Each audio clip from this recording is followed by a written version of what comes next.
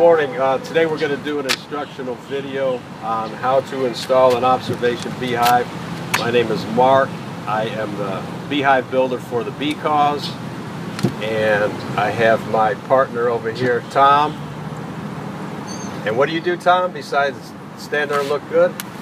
I manage uh, a lot of the bee colonies in Charleston for the Bee Cause project and I'll be playing the role of the bee advocate in this instructional video. Okay, just uh, so everybody knows, uh, I am a licensed contractor and hopefully anybody that will be installing the beehive will also be a licensed contractor experienced in uh, all phases of carpentry. Anyhow, um, to get started, this is pretty much what the hive is going to look like when you receive it what I want you to do is kind of give it the once over, maybe even a twice over, just to look at it, make sure it looks like everything is here, everything is in place, nothing's broken, cracked. Um, if something appears to be missing, um, you might want to check the checklist, which, which will be in here. It'll tell you uh, what the contents are and what you're supposed to receive. If uh, something happens to be missing, some of it might be crucial to the install, some of it may not be, and we can always we can send you something if you need it. Um, the first thing I think is to make sure that the location that you've chosen is going to be correct. It needs to be south, southeast facing for the entrance. Um, we would like to see it away from air conditioners, any outside, um, maybe objectionable areas, places that might get a whole lot of traffic. Um, you may want to try to limit that if you can, if it's at all possible. Getting back to the hive itself, you're going to get it, it's going to look like this. First thing you're going to do is open it up and you got to take, basically take it apart. This is a 7 16 hex head. There's going to be 10 bolts on here. You don't have to have an impact driver, but whatever tool you have available, get the bolts off.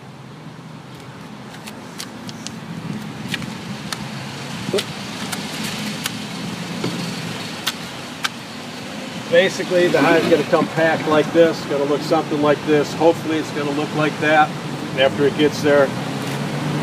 There's a couple things you need to do to get the parts out. Pretty simple though, you're going to need a number two Phillips head screwdriver, whether it's on an impact gun or just a screwdriver. I'm going to take this this is the entrance tube that you're going to be using later. I'm going to take this entrance tube out.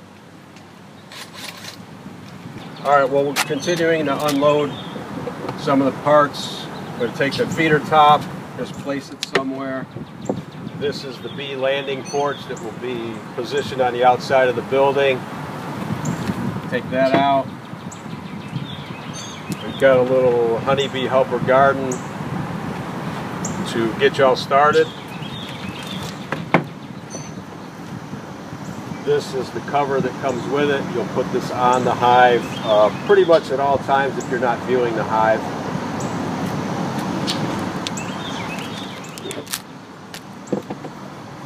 And we've got some literature in here, nice plaque, indoor plaque, and some instructions.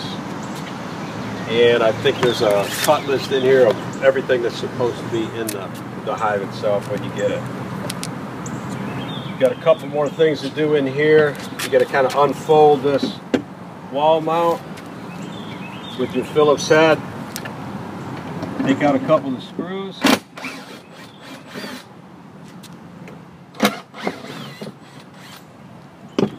Usually it's not that easy, but I'm good, so what can I say? Um, this is what's going to go on the wall. Pretty simple the main thing with this is making sure you get it anchored to the wall and you can't you really can't put too many anchors in it. This is critical that this gets mounted correctly. Got one more piece of stuff to get out of here. That's your outdoor sign. You're going to put that close to the uh, the bee landing porch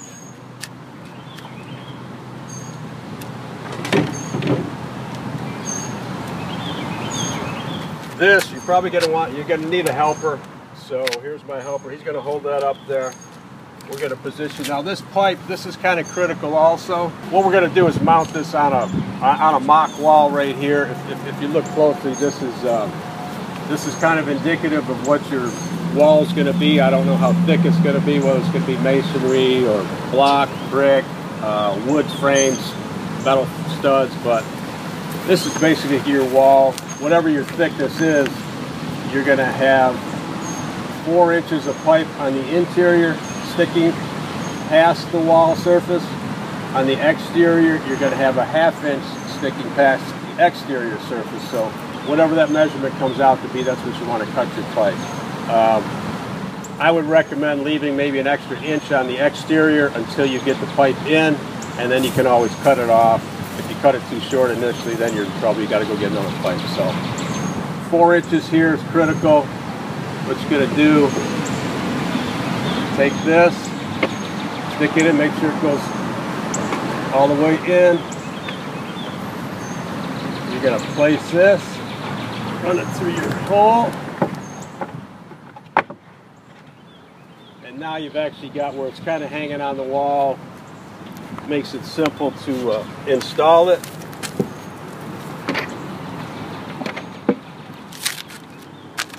Now I'm only going to use a couple screws here. You're going to want to use uh, several screws, bolts, whatever you decide you're going to use, depending upon how you're going to anchor it.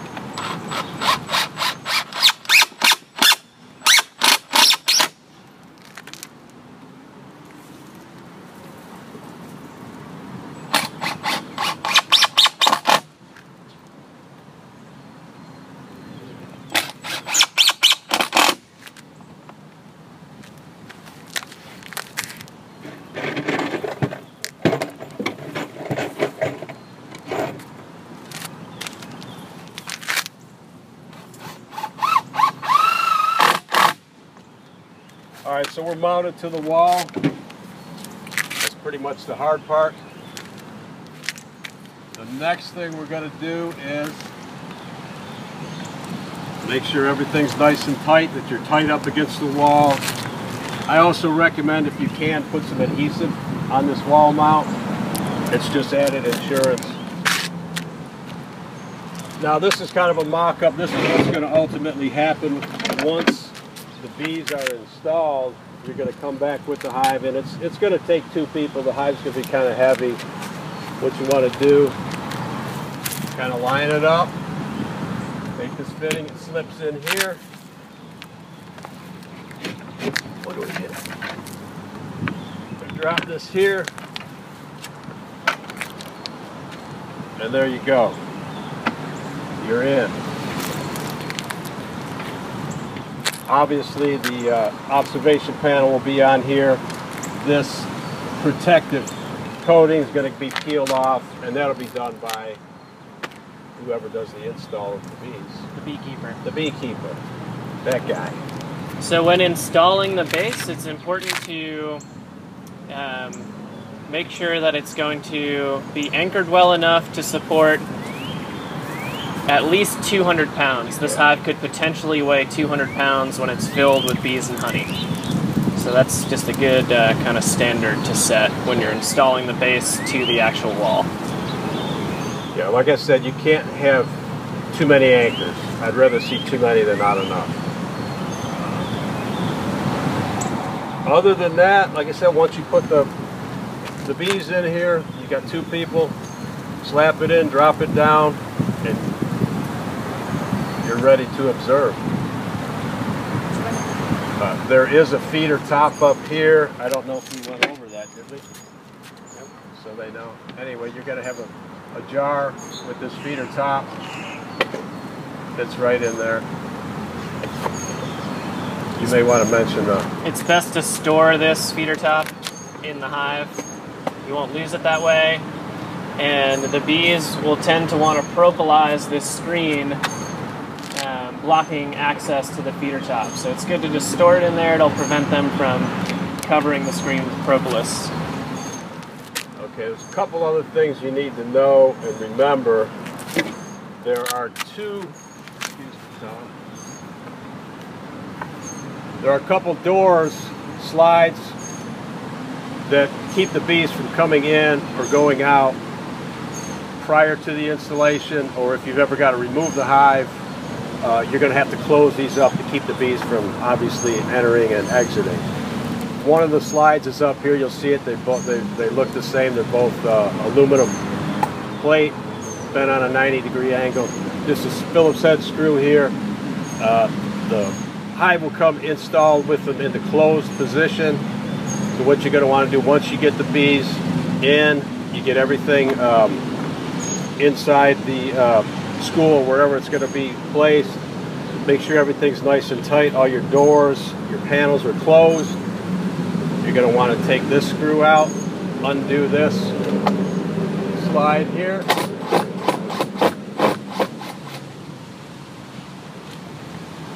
Pretty simple. And then we have one on the other side. I'm not going to do that one right now. There's another one here, but my table's in the way.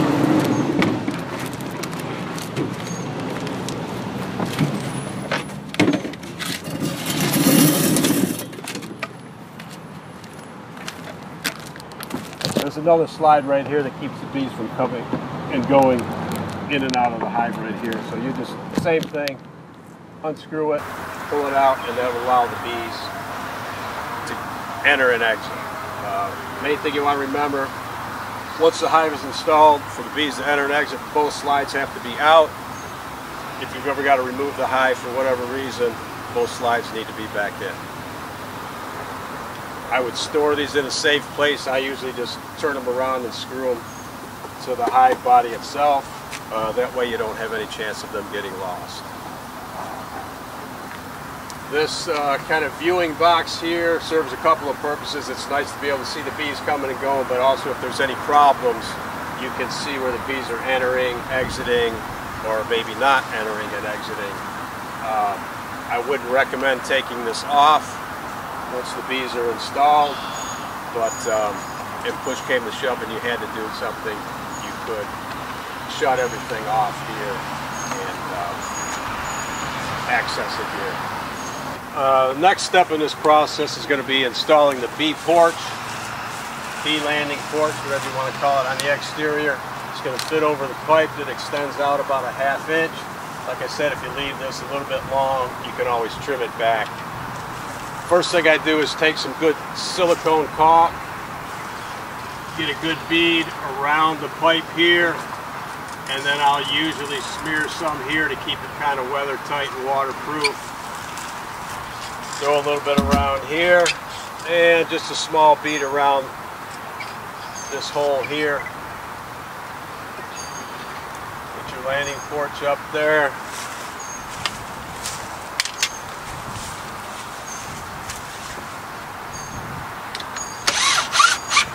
Attach it to the side of the building. Uh, your method of attachment might be a little bit different depending upon what the uh, finish is, whether it's masonry, stucco, uh, wood siding. But a couple of screws here with the silicone around, it's going to hold it in place. Once that's up, I'll take a bead of good caulk, get the tops and the sides, both sides, no need to do the bottom. And you're pretty much set here as far as landing porch. All right, the next step, once you've got the bee landing porch installed on the exterior, the only thing really left is to put your sign up. Put it at a convenient location close to the landing porch.